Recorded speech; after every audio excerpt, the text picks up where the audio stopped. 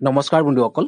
Brothers পিগাৰী and কালিভিশ্যন চেনেলটোলৈ আপোনালোক সকলোকে স্বাগতম জনাইছোঁ। বন্ধুসকল আজি আমি এই ভিডিঅ'ৰ জৰিয়তে আলোচনা কৰিম পোৱালিৰ দাঁত কেতিয়া কাটিব লাগে কিয় কাটিব লাগে আৰু যদি আমি পোৱালিৰ দাঁতখিনি কাটি নিদিওঁ তেতিয়াহ'লে কি কি ধৰণে আমাৰ সমস্যা আহিব পাৰে বা কেনেকুৱা ধৰণৰ সমস্যাই দেখা দিব পাৰে সেই বিষয়ে আলোচনা কৰিম। গতিকে আশা ৰাখিছোঁ আপোনালোকে ভিডিঅ'টো শেষলৈ চাব আৰু শেষলৈ চাই আপোনালোকৰ মতামতটো জনাব। আৰু যদি কিবা জানিবলগীয়া থাকে বা সুধিবলগীয়া থাকে আপোনালোকে কমেণ্ট বক্সত কমেণ্ট কৰিব। মই যিমান পাৰোঁ ৰিপ্লাইবিলাক দিবলৈ চেষ্টা কৰিম। তেন্তে বলক দেৰি নকৰি আমি ভিডিঅ'ৰ মাজলৈ যাওঁ। তো প্ৰথমতে আমি নতুনকৈ জন্ম পোৱা গাহৰি পোৱালিৰ দাঁতখিনি কেতিয়া কাটিব লাগে সেই বিষয়ে আলোচনা কৰিম। বন্ধুসকল পৰাপক্ষত আমি নতুনকৈ জন্ম পোৱা গাহৰি পোৱালিবিলাকৰ দাঁতখিনি জন্ম হোৱাৰ লগে লগে কাটি দিব পাৰিলে বহুত বেছি ভাল হয়। তেতিয়া আপোনাৰ দাঁতখিনি নৰম হৈ থাকে পোৱালিটোও বহুত বেছি ষ্ট্ৰং নহয় আৰু তেতিয়া কাটি দিলে আপোনাৰ পোৱালিখিনি কষ্ট নাপায়।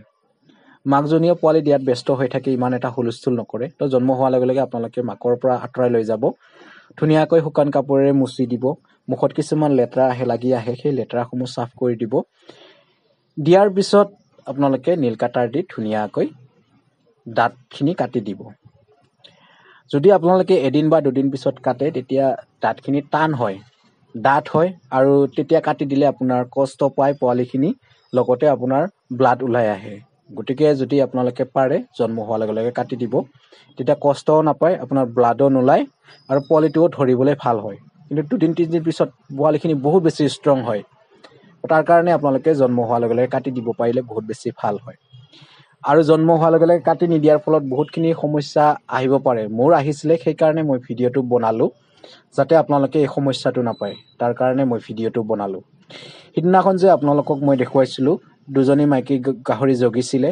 তাৰে এজনীয়ে আপোনাৰ তেৰটা পোৱালি জগিছিলে। চৈধ্যটা নিপল আছে তেৰটা পোৱালি মই ধুনীয়াকৈ ভাবিছিলোঁ খাব। তো জন্ম হোৱাৰ লগে লগে আপোনাৰ তলৰ নিপলছখিনি খাব নাজানে। ওপৰখিনিয়ে কাৰা কাৰি পেলাই খায়। আৰু তেতিয়াই আপোনালোকৰ যিটো দাঁত সেই দাঁতটো আপোনাৰ মাকৰ নিপলছত আঘাত কৰে। সিদিনাখন মোৰ ফাটি গৈছে নিপলছটো ফাটি গৈছে একদমবাৰে দাঁত সোমাই পেলাই ব্লাড ওলাই গৈছে। তো তাৰ কাৰণে মাকে কষ্ট পাইছে। কষ্ট পোৱাৰ কাৰণে পিছদিনাখন আপোনাৰ ভালদৰে গাখীৰ খাব দিয়া নাই। পোৱালিবিলাক লাত মাৰি আছে একদমবাৰে মুখেৰে একদমবাৰে ঠেলা মাৰি দি আছে। তো মই দেখি পেলাই মই আচৰিত হ'লোঁ আৰু কিহৰ কাৰণে হৈছে মই সমস্যাটো মই অকণমান ইনকুৱাৰী কৰিলোঁ। কৰাৰ পিছত গম পালোঁ যে মাকে নিপলছত কষ্ট পাইছে। কষ্ট পোৱাৰ কাৰণে পোৱালিবিলাকক একেবাৰে গাখীৰ খাব দিয়া নাই লাত মাৰি দি আছে। তো মই লগে লগে কি কৰিলোঁ নেইল কাটাৰ এটা নতুনকৈ কিনি আনি পেলাই ধুনীয়াকৈ কাটি দিলোঁ। কাটি দিয়াৰ পিছত মাকে একদমবাৰে আৰামত গাখীৰ খাব দিলে। তো চাওক সেই পোৱালিসমূহ যদি দুদিন গাখীৰ নোখোৱাকৈ থাকিলে সেই পোৱালিসমূহ নষ্ট নহ'লহেঁতেন। আৰু মাকৰ যদি কিবা কাৰণত এদিন বা দুদিন যদি পোৱালিক গাখীৰ খাব দিয়া নাই টান হৈ যায় একেবাৰে গাখীৰ নোলোৱা হৈ যায়। তো সেই সমস্যাটো কিন্তু আপোনালোকে কেতিয়া পাব পাৰে।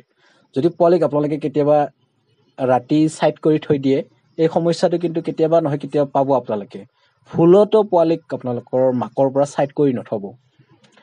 এদিন যদি কেতিয়াবা এনেকৈ ছাইড কৰি থৈ দিয়ে দুদিন থৈ দিয়ে কেতিয়াবা কি হ'ব মাকে একেবাৰে খাব নিদিয়া হ'ব। গাখীৰখিনি টান হৈ যাব আৰু টান হ'লে আপোনালোকৰ সমস্যা আৰম্ভ হ'ব আৰু। মইতো ভাবিছিলোঁ তেৰটা পোৱালিক যদি কিবা কাৰণত মিক মিল্ক ৰিপ্লেচাৰ খুৱাব লগা হয় তো কিমানটা পোৱালি নষ্ট হ'ব কিমানটা পোৱালি বচ- বচাব পাৰিম সেইটো বাৰু ভগৱানেহে জানে। তো তাৰ কাৰণে মই লগে লগে কি কৰিলোঁ দাঁতখিনি কাটি দিলোঁ আৰু মাকো কষ্ট নোপোৱাকৈ ধুনীয়াকৈ খাব দি আছে। কি হয় আপোনাৰ জন্ম হোৱাৰ লগে লগে সিহঁতে ইমান এটা নাজানেতো তলৰখিনি ধুনীয়াকৈ উলিয়াই পেলাই খাব নাজানে। তো তাৰ কাৰণে ওপৰখিনিতে কাৰাকাৰি লাগি দিয়ে। আৰু কেতিয়াবা কোনোবাই কামুৰি পেলাই খাই থাকে আৰু তাকে মানে ঢাক্কা মাৰি পেলাই ছাইড কৰি দিয়ে। ছাইড কৰি দিয়াৰ লগে লগে মাকৰ গাখীৰত লাগিল নহয় দাঁতখিনি। তো তেনেকৈ কষ্ট পায়। আৰু ইনফেকশ্যন হয়। ইনফেকশ্যন হ'লে কেতিয়াবা আপোনাৰ ট্ৰিটমেণ্ট কৰিব লগা হয়। গাখীৰ শুকাই যাব। আপুনি পোৱালিক ছাইড কৰি থৈ দিব লাগিব। আৰু সেই পোৱালিখিনিক আপোনালোকে মিল্ক ৰিপ্লেচাৰ দিব লাগিব। কিমান কষ্ট হ'ব আপোনাৰ? তো সেই সমস্যাবোৰ যাতে আপোনালোকৰ নাহে তাকে মই ভিডিঅ'টো বনাই পেলাই আপোনালোকক দিলোঁ। তো ভৱিষ্যতে আপোনালোকে যদি তেৰটা চৈধ্যটা পোৱালি হয় নিপলছত যদি হিচাপৰ থাকে তথাপিও আপোনালোকে লগে লগে কাটি দিব। আৰু এটা হ'লেও দুটা হ'লেও আপোনালোকে পাৰিলে দাঁতখিনি লগে লগে কাটি দিব। তেতিয়া মাকে কেতিয়াও কষ্ট নাপায়।